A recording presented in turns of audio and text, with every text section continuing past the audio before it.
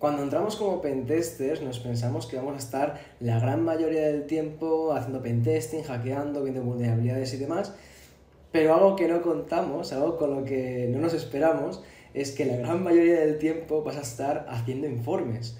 Eh, no la gran mayoría del tiempo, pero posiblemente estés, estés hackeando o estés haciendo pentesting el 60% del tiempo y el otro 40% es elaborando un buen informe. Esto es una tarea bastante farragosa, es más, se suelen reservar varias horas o jornadas enteras simplemente para hacer un informe, hacer un reporte, y hay que hacerlo bien, tiene que estar bien formateado, hay que hablar de una manera específica, tienes que hacerlo y tienes que hacer al final la tabla de criticidad, es algo bastante farragoso, ¿no?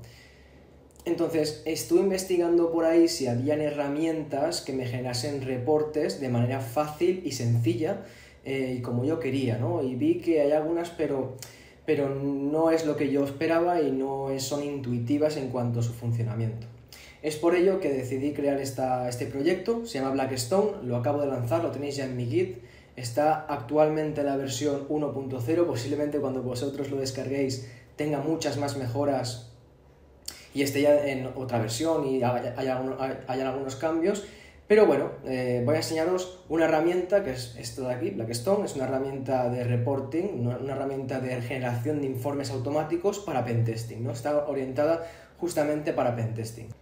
Este vídeo se va a enfocar de dos maneras. Os voy a enseñar cómo es la aplicación, ¿vale? Cómo funciona y demás. Y luego en la otra parte del vídeo os voy a enseñar cómo instalarla, que os adelanto, es muy sencillo y esta aplicación la he basado en la sencillez, ¿vale? Algo fácil y sencillo.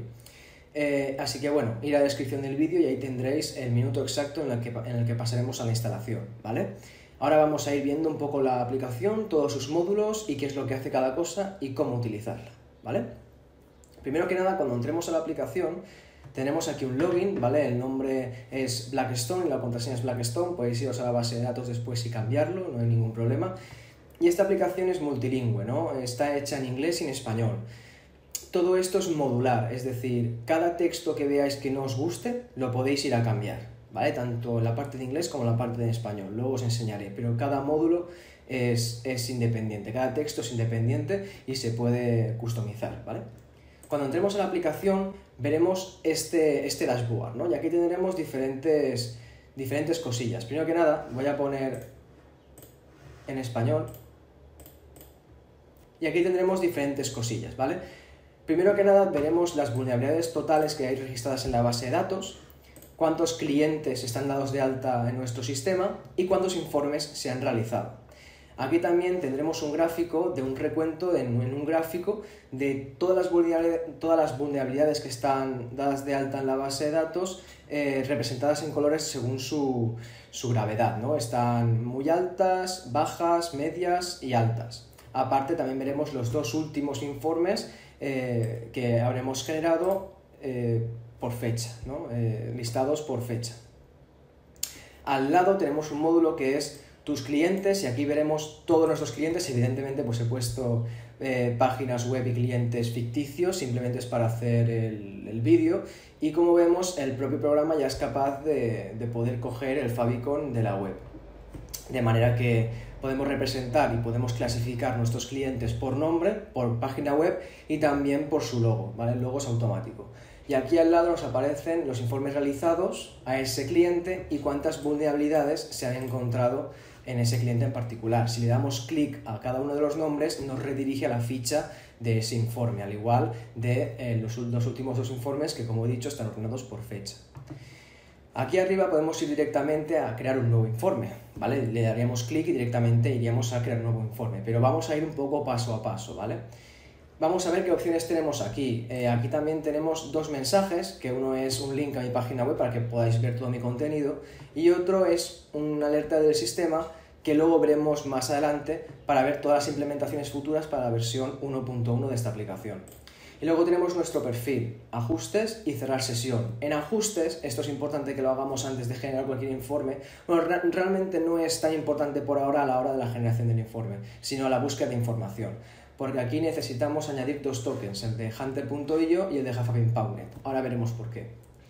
Bueno, si nos vamos al dashboard, podremos ir primero que nada al primer módulo que es vulnerabilidades. Aquí tenemos todas las vulnerabilidades que nosotros hemos dado de alta en el sistema mientras hemos ido haciendo auditorías. Esto es bueno porque conforme vayamos utilizando esta aplicación, conforme más vayamos utilizando esta aplicación, más vulnerabilidades tendremos dadas en el sistema y por lo tanto es mucho más rápido a la hora de generar el siguiente informe. Porque imagínate eh, que tú ya has hecho una auditoría y te has encontrado que el protocolo Samba no está firmado. Y vas a otra auditoría nueva y de repente ves que el protocolo Samba no está firmado. Entonces tú ya te irás aquí, pondrás Samba y te aparecerá la vulnerabilidad que tú ya diste de alta en aquel día y simplemente tendrás que darle el check para añadirla al nuevo informe de este nuevo cliente.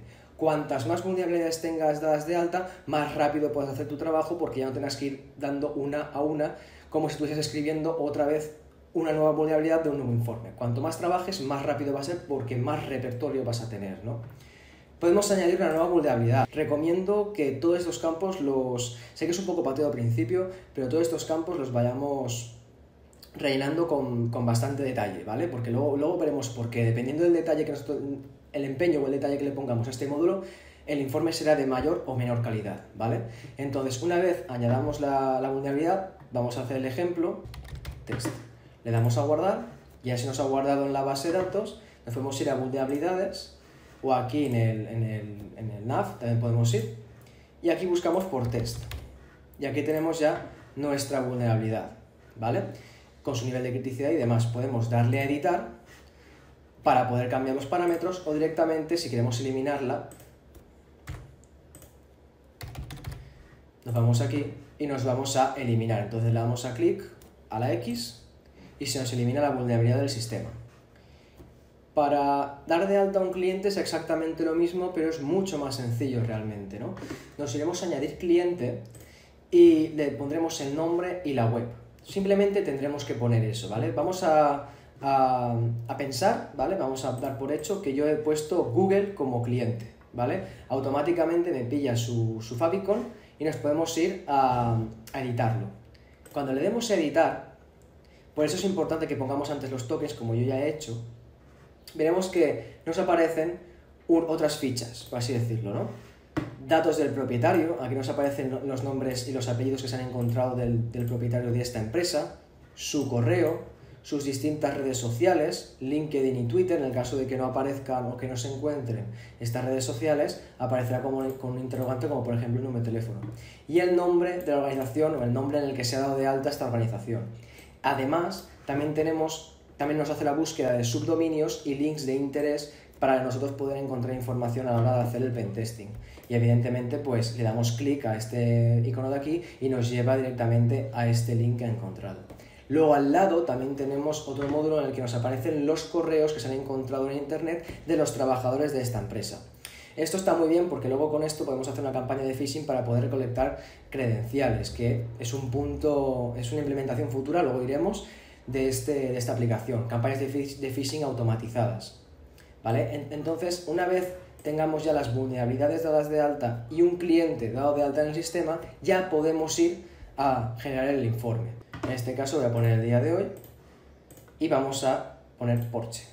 Entonces le damos a guardar. Ya lo tenemos dado de alta y aquí nos iremos, como veis, el estado en el que está el informe es en proceso porque aún no lo hemos empezado. Ahora mismo solamente teníamos tres campos a rellenar. Si le damos ahora mismo a editar, vemos que ya tenemos bastantes campos más, ¿no? Tenemos los que ya teníamos más el estado. Podemos tenerlo, también podemos ponerlo en terminado si queremos. Y aquí viene ya el punto importante, ¿vale? Las vulnerabilidades. Estas son las vulnerabilidades que nosotros hemos dado de alta en el sistema previamente, que ahora nos aparecen en esta ficha para nosotros con un simple clic poder poner dentro del informe, ¿vale? Evidentemente también podemos buscarlas. Si nos vamos aquí ponemos Samba, por ejemplo, nos aparece una vulnerabilidad o las vulnerabilidades que, que coincidan con esa búsqueda. Entonces, ¿cómo pongo las vulnerabilidades dentro del sistema y cómo genero el informe? O sea, ¿cómo, ¿cómo añado esas vulnerabilidades que ya tengo dadas de alta en el informe y cómo genero el informe? Eso realmente es muy sencillo. Vamos a poner las vulnerabilidades dentro del informe, yo voy a poner unas cuantas, tanto sea de auditoría interna como de auditoría externa. Evidentemente la base de datos que nosotros vayamos a insertar ahora va a estar en vacío, así que vais a tener que ser vosotros quien alimentéis esta base de datos. Pero bueno, eh, también os recomiendo que hagáis CTFs y que con las CTFs pues vayáis eh, insertando la base de datos con esas vulnerabilidades para cuando hagáis un informe en la vida real ya tengáis la base de datos bastante alimentada. Ya tenemos todas las vulnerabilidades insertadas en el informe. Bueno, aquí vemos dos campos más, que es recomendaciones y propuestas. Aquí realmente es una lista de recomendaciones a la hora de, te recomiendo que hagas esto, te recomiendo que mejores esto y demás. Y luego estos son, por ejemplo, propuestas de mejora para implementaciones futuras en la infraestructura o en el servicio que estemos nosotros auditando. ¿no? Y aquí voy a ponerlo simple. Recomendación 1 y recomendación 2. Prop 1 y prop 2. Claro que sí. Y prop 2, perfecto. Una vez tengamos los cambios guardados, le damos, le damos a guardar. Ahora que lo tenemos ya guardado, nos podemos ir debajo del todo y ahí sí que le damos a generar informe. Y como veis, el informe ya se nos ha generado. Para guardar el informe de esta manera y que Word lo interprete, ¿vale? Le damos a clic derecho, guardar como, y esto es un paso muy importante. Tenemos que darle en tipo, guardar como archivo único.mhtml. Yo en este caso lo voy a guardar en el escritorio. ¿Vale? Lo tenemos. Y aquí en el escritorio, clic derecho, abrir con Word. Entonces ya se nos abrirá ese, ese formato MHTML en formato Word. Y aquí podemos editarlo, guardarlo, exportarlo como doc o como PDF, lo que queramos. Ya realmente es un archivo, es un archivo de Word. Y como vemos, ya nos aparece el logo, Blackstone Project, el nombre del, del, documento que nosotros lo hemos puesto, la fecha en la que se ha generado ese informe que hemos puesto nosotros, avisos legales, control del documento, con el nombre del documento, el autor, que somos nosotros Blackstone, y cliente. El nombre del autor aparece como Blackstone, entonces simplemente cambiarás, o sí, cambiarás la palabra Blackstone por el nombre de tu nombre o el nombre de la empresa en la que estés trabajando, declaración de confidencialidad, un poco también de temas legales y demás el índice, el índice en la, próxima versión se, genera, se generará automáticamente, de esta manera tenemos que generar nosotros, es muy sencillo, como ya tenemos todo estructurado por índices y demás, le daremos a insertar, le daremos a disposición, preferencias, tabla de contenido y generaremos aquí el informe, o sea, generaremos aquí el propio índice. A ver, un momento, esto fuera.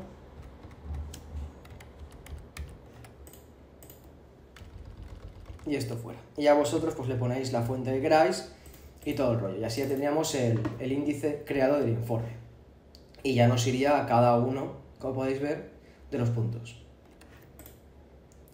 Si seguimos bajando, tendremos la introducción que explica un poco qué se hace en una prueba de pentesting y demás, el objetivo y el alcance. Por lo general, el alcance suele ser la auditoría interna, externa y wifi.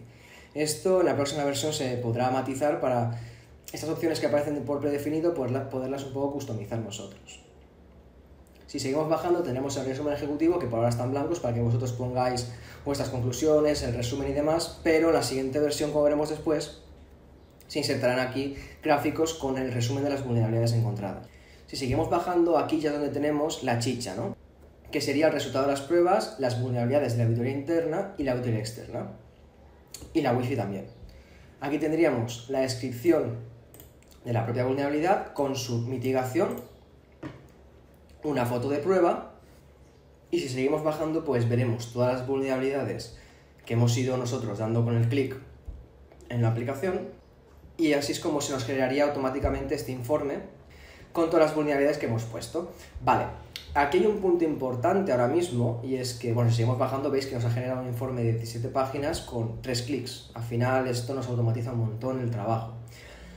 Lo bueno de esto es que al final del todo, recomendaciones, propuestas de mejora y demás, que lo que hemos puesto antes, el último punto es una tabla de criticidad. Y aquí nos genera esta tabla con cada recomendación de mitigación de la vulnerabilidad junto a su criticidad y el esfuerzo a la hora de mitigarla. ¿no? Esto es un punto importante para que el cliente pueda ver todas las vulnerabilidades que se han ido encontrando en el sistema, cuáles son altas, muy altas y cuánto tiempo tiene que, que que emplear para mitigarlas. Entonces, esta tabla que realmente lleva bastante tiempo la tenemos aquí de manera automática. Por ahora, este sería el funcionamiento que tenemos en la, aplicación, ¿vale? Es la, versión 1.0 y cada vez que nos descarguemos una versión, por ejemplo, tú a lo mejor estás viendo este vídeo y ya es una versión mucho más avanzada. Si quieres ver las implementaciones futuras que tendrá esta aplicación en la siguiente versión, nos iremos aquí al mensaje, a System, y aquí podrás ver todas las implementaciones futuras, ¿no? Por ejemplo, para la siguiente versión, la 1.1, en cuanto a funcionalidades de la aplicación, eh, yo lo que quiero hacer es implementar campañas de phishing de manera automatizada asociadas a cada una de, los clientes que nosotros vayamos dando de alta, eligiendo por plantillas, hasta 33 plantillas, sea Microsoft Office, eh, Google, lo que sea, ¿no? Cualquier LinkedIn, Twitter, YouTube, cualquier red social que contenga usuario y contraseña, pues hacer una campaña de phishing de todas esas redes sociales. Descargar ese resultado en un archivo CSV con los usuarios y contraseñas que se vayan eh, recolectando, implementar motor Shodan para poder buscar información de la empresa, equipos, puertos abiertos, servicios y demás. Y la funcionalidad de buscar informes, pues de hacerla, hacerla funcionar, hacerla operativa. Y en cuanto al reporte, eh, añadir toda la información o SINT que hemos, que hemos ido viendo que recolecta eh, la propia aplicación del, del, dueño de la empresa, redes sociales y demás, todo eso, tener la opción para poderlo poner directamente en el informe poder cambiar el color de las cabeceras, si a lo mejor tú tienes un color corporativo, pues poder poner tu color corporativo en el informe, eh, implementar los resultados de las campañas de phishing dentro de la parte OSIN, del, dentro de la parte OSIN del informe, que sea todo automático que se inserte, añadir gráficos de vulnerabilidades, ¿vale? Esto este también se hace, hace alusión a lo que sería el resumen ejecutivo, tenerlo todo lleno de gráficos para que el cliente pueda ver el estado general de la empresa. Elegir entre tipo de texto, si lo quieres justificado, si lo quieres centrado o alineado, alineado a la derecha o a la izquierda, eh, elegir entre distintas fuentes de texto y personalizar los textos legales. Como hemos visto, los textos legales vienen predefinidos y a lo mejor tú quieres cambiarlos. Pues en la siguiente versión tendremos un módulo de plantillas de informe en el que podrás poner tus propios textos, además del color, foto y demás. Entonces, estas serían las futuras implementaciones para la versión 1.1.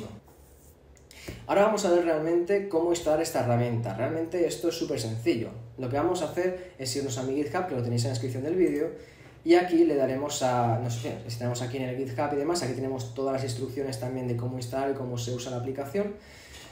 Lo que haremos es irnos a Code y eh, le daremos a descargar. Realmente esta aplicación es multiplataforma, esto que significa que mientras tengamos un servidor Apache, eh, un servidor en Gins, en cualquier plataforma, sea Android, Linux o Mac, vamos a poder utilizar esta, herramienta, ¿vale?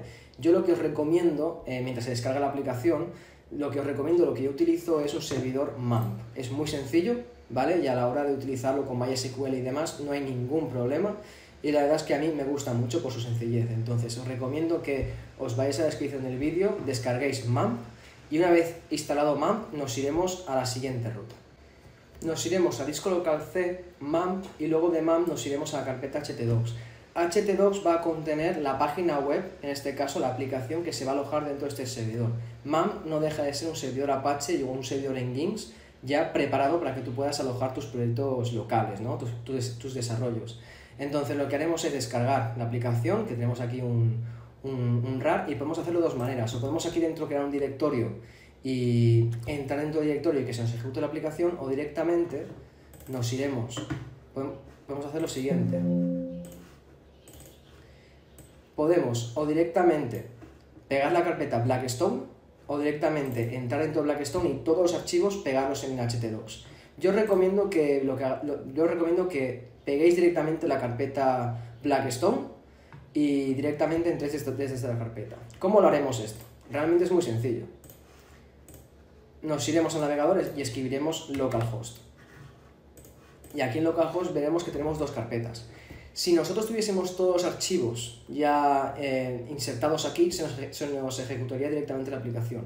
Pero como nosotros, en el caso, yo recomiendo pegar la carpeta Blackstone, aquí te aparecerá Blackstone, le darás clic y entonces se te ejecutará la aplicación. Pero antes, para, hacer que funcione, la aplicación tenemos que importar la base de datos.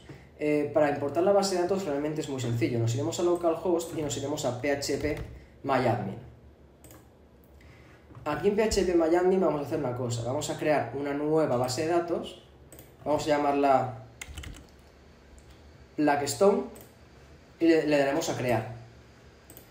Una vez le, demos a crear, tendremos esto, ¿vale? Se nos, desplegará, pero estará en vacío porque no tenemos ninguna tablas, ni tenemos ningunos datos, ni nada.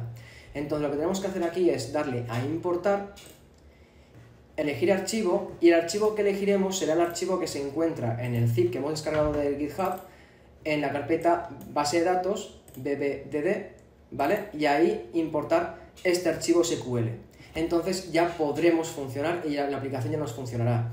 Si tenéis algún problema en cuanto a la conexión o, a lo mejor os dice un mensaje de que no hace conexión con la base de datos, es muy sencillo porque dentro de MAMP nos iremos a Open Website Page, Web Start Page, y aquí nos iremos abajo a MySQL y aquí tenemos la configuración de conexión a la base de datos.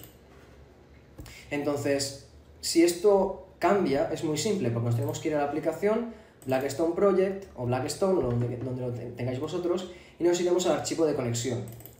Dentro del archivo de conexión, si tenemos algunos parámetros cambiados, será aquí donde tendremos que, cambiarlo. Realmente, eh, el nombre de la base de datos podéis poner el que queráis. Yo le pongo Blackstone, pero si le ponéis otro nombre, simplemente cambiáis aquí el Blackstone por el otro nombre y listo. Y así es como la aplicación funcionaría. Así que nada, chavales, espero que os haya gustado mucho este vídeo, espero que esta herramienta os ayude un montón, compartidla eh, y espero que, lo, dicho, ¿no? espero que os ayude y que todos aportemos a mejorarla. ¿no? Estaré muy pendiente en GitHub, en las redes sociales y en los comentarios de este vídeo para implementaciones y mejoras y fallos que vosotros le vayáis encontrando para las futuras versiones que vayan saliendo, poder solucionar todos esos fallos. Así que nada, chavales, espero que os haya gustado mucho esta herramienta, espero que os ayude y nos vemos en el próximo vídeo. Hasta luego.